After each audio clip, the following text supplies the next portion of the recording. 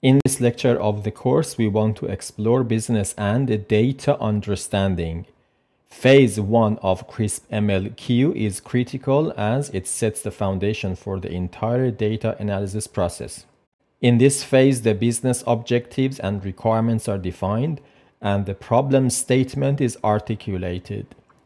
The goal is to establish a clear understanding of what the business hopes to achieve with the data analysis project and to identify the key stakeholders involved. By the end of this phase, the business objectives and requirements should be well defined and a preliminary plan of action should be in place. So we already know these machine learning product requirements. And at the left, we see the steps involved in this phase of CRISP MLQ. And now we can see that how the machine learning product requirements map to each step of CRISP MLQ. So the business value requirement maps to business success criteria. Model quality requirements maps to machine learning success criteria. Technical feasibility requirement maps to feasibility and data quality requirements maps to data catalog, profiling and verification. The tasks of business understanding are seen at this screen. The first one is to articulate the machine learning business value. It's important to first articulate the problem statement clearly in a concise and specific manner. For example, predicting customer churn or detecting fraudulent transactions. It's also required to clarify the business value requirements for the proposed machine learning product and discuss the value proposition's alignment with the machine learning solution. A helpful approach is to define a non-machine learning benchmark to communicate the impact of the machine learning tasks with the business stakeholders. The second task is defining success criteria. Success criteria can be business success criteria and machine learning success criteria. According to the IEEE standard for software development lifecycle or SDLC processes, the measurable requirement is one of the essential principles and each success criterion must be defined in alignment with the other and the overall system requirements to prevent contradictory objectives. Therefore, we process measuring the success criteria of a machine learning product or project on two levels the business success criteria and the machine learning success criteria. Usually multiple machine learning criteria are associated with one business success criterion. In terms of business success criteria, adding a business success criterion as a key performance indicator or KPI to the project or product is the best practice. A KPI is a financial measure of the relevance of the machine learning application. Business value requirements must be articulated at this stage of machine learning product development. For example, suppose a machine learning application is planned for a quality check in manufacturing production and is believed to outperform the manual failure rate. In that case, the KPI can be defined as cost saving with automated quality check per part.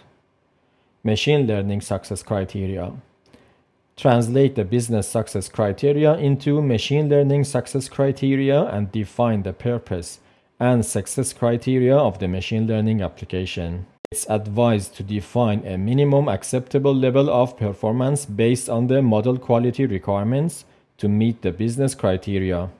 In the above example, if machine learning is supposed to outperform the current manual failure rate of 3%, the minimal success criterion is defined as accuracy greater than 97%.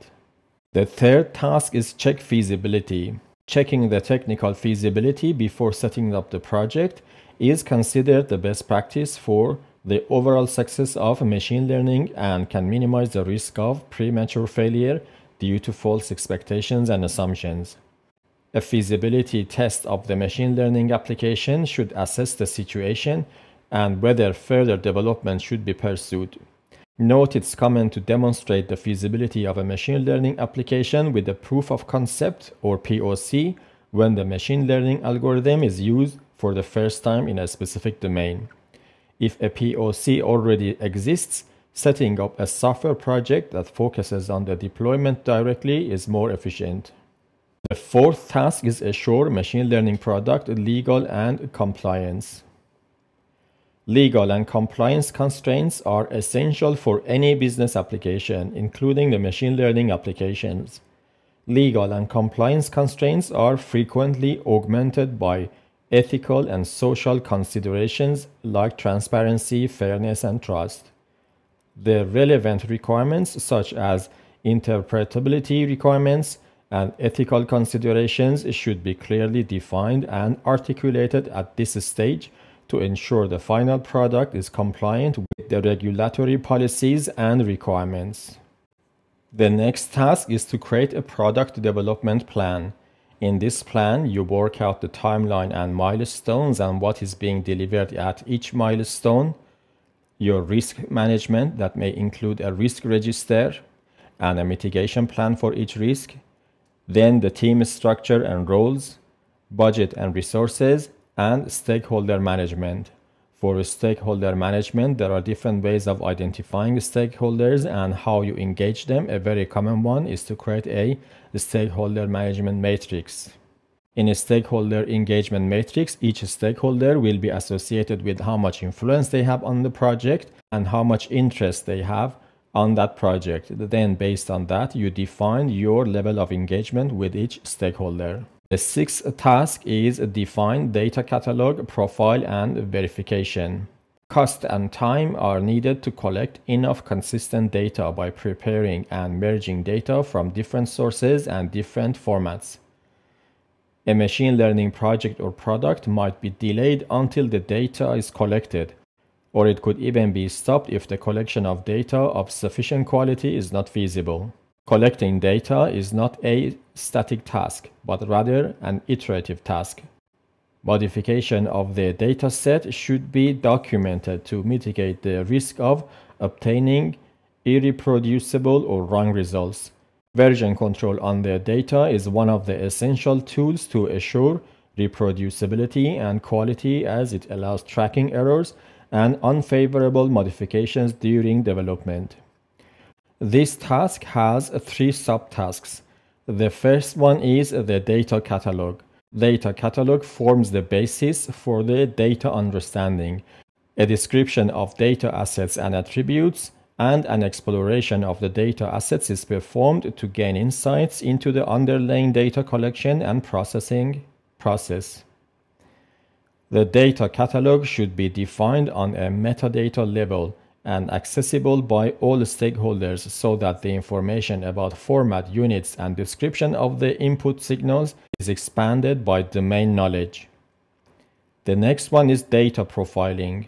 Data profiling can be done by statistical properties such as average, variance, maximum, minimum, and etc. on data asset attributes. Furthermore, a technically well-funded visualization of the data profiling and distribution should help understand the data assets used for machine learning products. The last subtask is data verification. Data verification is required to check the quality of the production data according to the data quality requirements. In case where the requirements are not met, the data will be discarded and stored for further manual analysis. This helps to reduce the risk of decreasing the performance of the machine learning application by adding low quality data and helps to detect varying data distributions or unstable inputs.